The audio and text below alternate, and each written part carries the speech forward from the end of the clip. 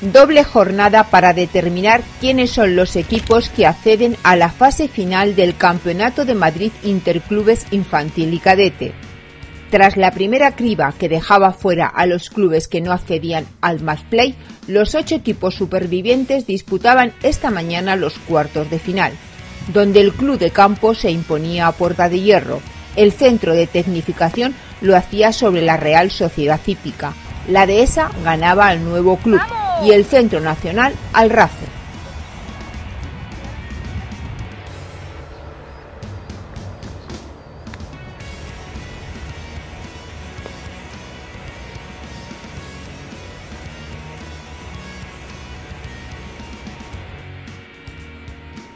Por la tarde las semifinales enfrentaban al Club de Campo Villa de Madrid con la Dehesa, con victoria de los primeros por dos y medio a uno y medio.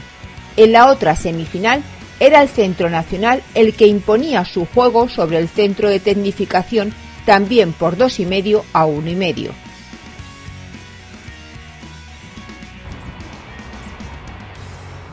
Mañana jornada final con el enfrentamiento entre Club de Campo y Centro Nacional, que lucharán por el título, y la Dehesa y el Centro de Tecnificación que buscarán el tercer y cuarto puesto.